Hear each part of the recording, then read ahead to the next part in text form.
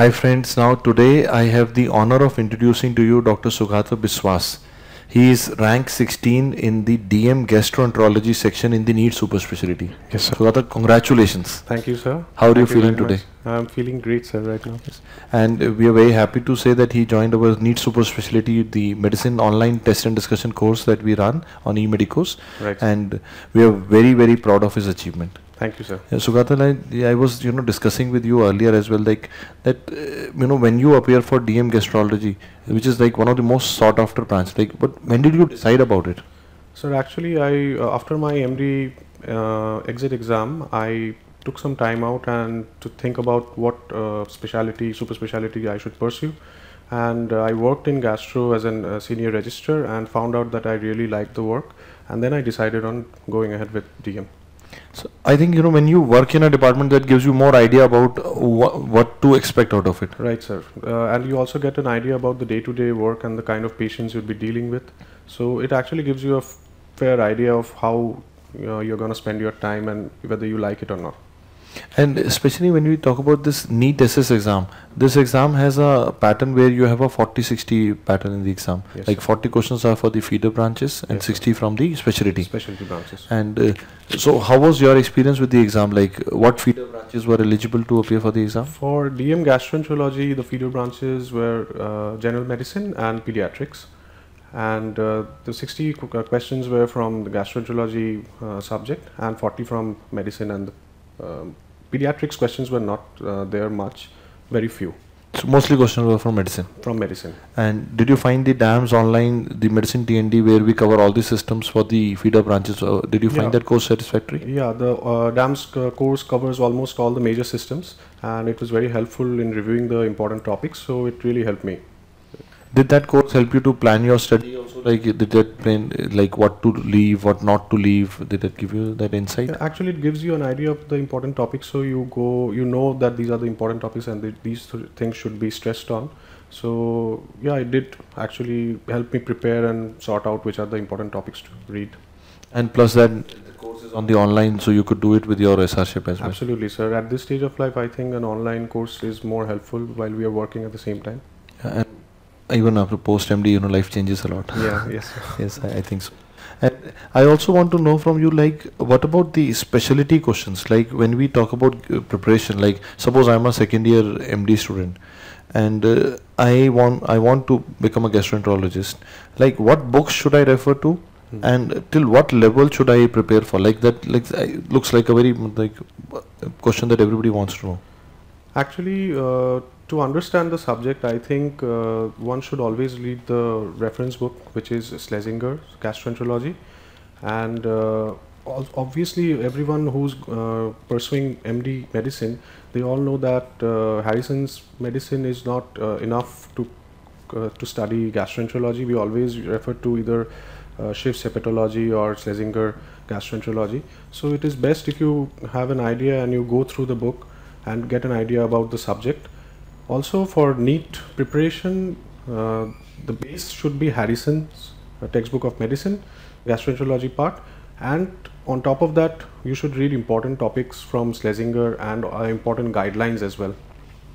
What, what are the important topics that somebody should read from Sleisenger? The hepatology part has important topics which are not covered well in uh, Harrison, like autoimmune hepatitis, alcoholic liver disease, then uh, PSC, primary sclerosing cholangitis, PBC, cirrhosis and its complications.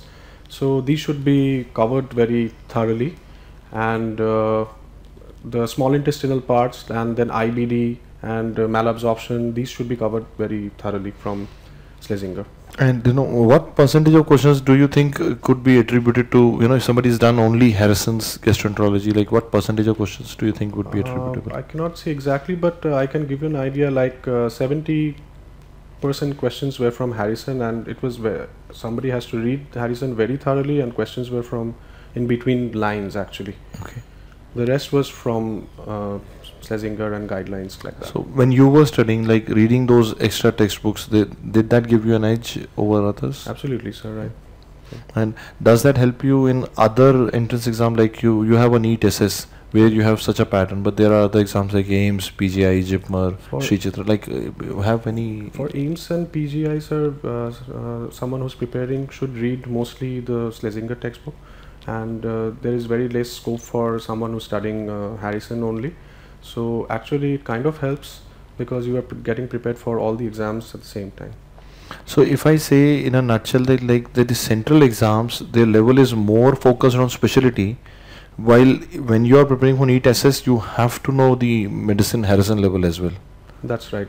That's So in which exam do you think anybody who is a fresher, who's just passing out of MD, he has a better chance? I think NEET SS is a Because he's fresh with Harrison. Yeah. So I think this is a good insight. And like somebody in second year uh, MD and he wants to know which subject should he pursue.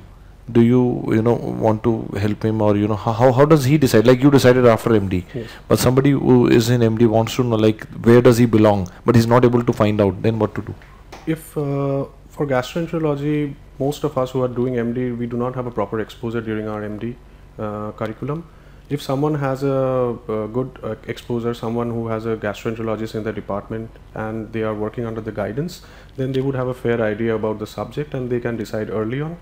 And probably during the rotations, they can also have an uh, idea whether they like the subject and whether they will be uh, interested in pursuing it later on in life. I think the best idea is to go to the rotation with an open mind and Right. see if you belong there or not. Like Right. so, I think that is the best way to find out. Right. Uh, instead of you know looking at names, you know what happens is sometimes we get attracted by a name attached to my name. Okay, if I say this, it will look good, Right. but you know you may belong somewhere else. Right, sir. So you know what uh, future prospect does a gastroenterologist has? Like you know when you join this branch, like what what is it that attracts you? Th- so that you know we can guide the other MDS. Like what are the key things that attract you, and how do you foresee your career progressing further? The thing about the uh, best about gastroenterology is it has a huge expanse, like from uh, the liver diseases, biliary diseases, then pancreatic diseases, and the luminal pathologies. There are a host of things that you have to deal with, and every disease is very interesting and very challenging to deal with. Also, there is a uh, interventional side to this, which is also evolving by the day, and newer uh, interventions are coming in, which are also very challenging and attr- uh, attractive to uh, someone who's practicing. So I think it would be uh, gastroenterology will evolve in the coming years, and it, we look forward to working and experiencing the changes.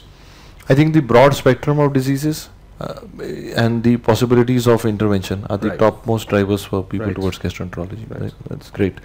And how did you maintain your motivation during this period? Like it must have been tough, and it must have been like uh, like when you start your journey in MBBS, you know, you never think that you would reach so far. Yes, sir. And when you've reached here, how does it feel today?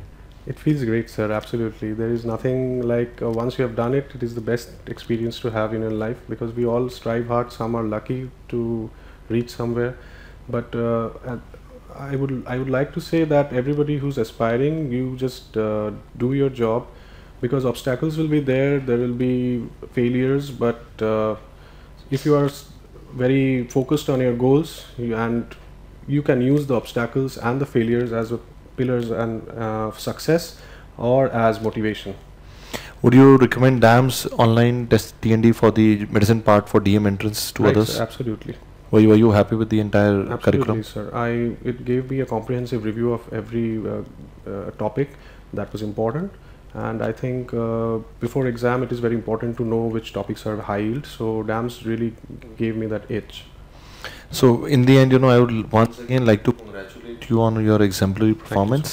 And Sugata, you know, I'm really, really proud of you. thank you sir. And I would like to convey my regards to your family, parents, everybody, thank you because I think this is an achievement for them as well. Heartiest congratulations. thank you sir Congratulations. thank you very much